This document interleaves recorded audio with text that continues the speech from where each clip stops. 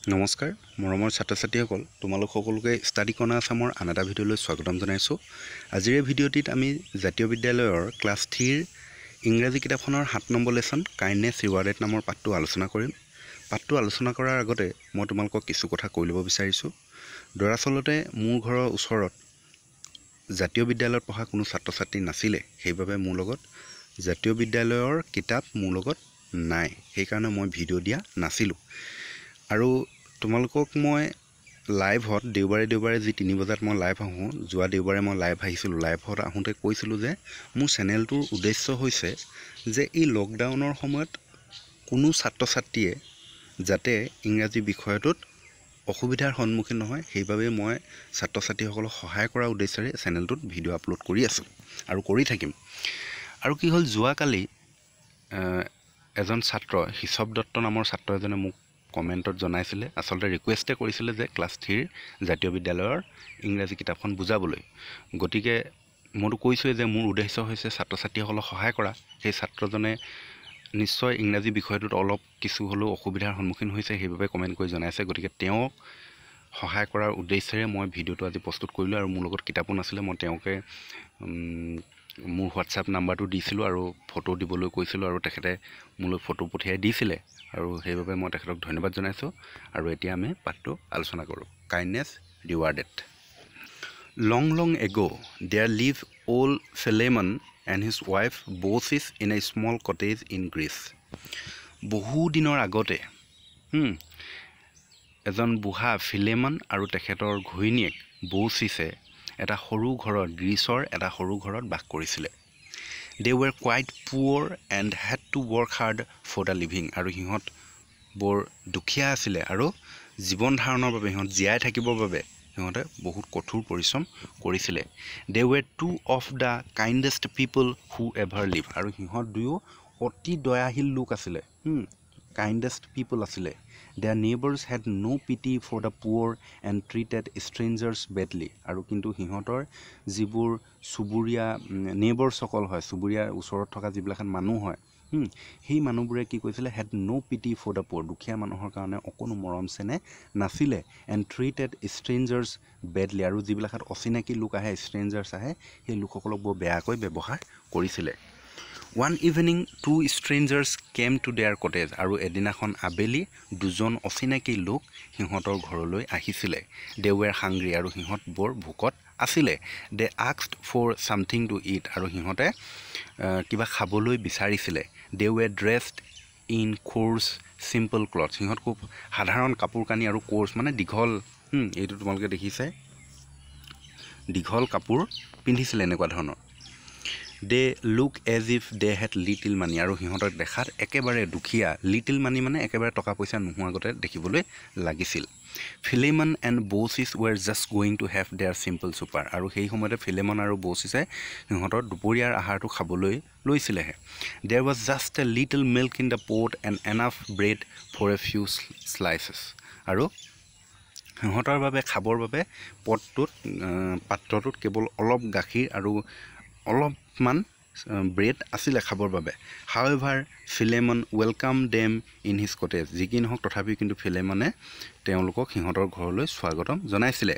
He said I am afraid that I can offer you only a poor meal but you are most welcome to that যে মোৰ ভয় লাগিছে কাৰণ মই আপোনাক কেৱল আপোনালোকক কেৱল খুব অলপহে মিল খাদ্য যোগান ধৰিব পাৰিম কিন্তু তথাপিও মই কিন্তু তোমালোক আপোনালোকক ৱেলকাম স্বাগতম কৰিছোঁ তেনেকৈ বুলি কৈছে।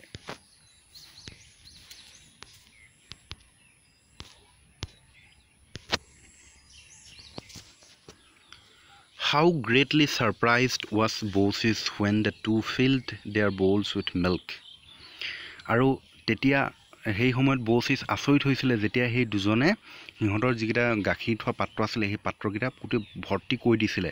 And there was plenty of milk in the pot for her and her husband আৰু সেই পটটোত বহুত গাখীৰ আছিলে হাজবেণ্ড তাইয়ে আৰু হাজবেণ্ডে খাবৰ বাবে।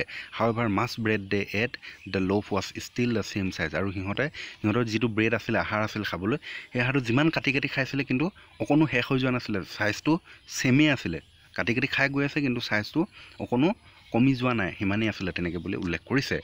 অ' old Philemon and Baucis were afraid of them আৰু তেতিয়া ফিলেমন আৰু বৌচিছে সেই দুজনৰ প্ৰতি ভয় খালে। They look more carefully at their guest. আৰু সিহঁতে খুব সাৱধানেৰে কি কৰিলে সেই অতিথি দুজনলৈ চালে। Their faces were like the faces of kings. আৰু সিহঁতৰ মুখ দুখন দেখিবলৈ ৰজাৰ নিচিনা আছিলে। Philemon looked at his guest in wonder. আৰু ফিলেমনে সেই অতিথি দুজনলৈ বৰ আচৰিত ধৰণেৰে চালে। হি ছেইড টু ডেম আৰু সি সিহঁতক ক'লে হু আৰ ইউ আপোনালোক কোন হয়? তেনেকৈ বুলি ক'লে। দ্য ষ্ট্ৰেঞ্জাৰ্ছ স্মাইল আৰু সেই অচিনাকি দুজনে মিচিকিয়ে হাঁহি মাৰিলে। দ্য য়ংগাৰ ওৱান ছেইড আৰু তাৰে যিজন অকণমান সৰু আছিলে সেইজনে ক'লে দিছ ইজ জুপিটাৰ এইজন হৈছে Jupiter the king of gods গডৰ ৰজা হয় and I am Mercury his messenger আৰু মই তেখেতৰ দূত হয় Mercury the two old people fell on their knees আৰু সিহঁত দুয়ো বৃদ্ধ লোক বৃদ্ধ আৰু বৃদ্ধাগৰাকীয়ে কি কৰিলে সিহঁতৰ আঁঠুত পৰি দিলে ভৰিত পৰি দিলে বাট জুপিটাৰ ছেইড কিন্তু জুপিটাৰে ক'লে ডোণ্ট বি এফ্ৰেইড বেছি ভয় নকৰিবা। We we have come to the earth to see how men behave আমি আচলতে পৃথিৱীলৈ নামি আহিছিলোঁ যে মানুহবোৰে কেনেকুৱা আচৰণ কৰে।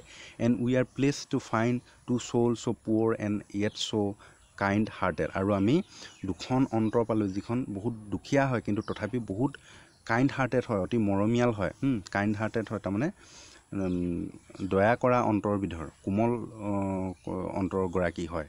I know' your wish that you should die together আৰু মই জানো তোমালোকৰ ইচ্ছা হৈছে যে দুয়ো একেলগতে মৃত্যু হোৱাটো। Be it so' now look at your cottage that is your reward আৰু এতিয়া চোৱা তোমালোকৰ যিটো এই কটেজটো এইটো তোমালোকৰ হৈছে উপহাৰ।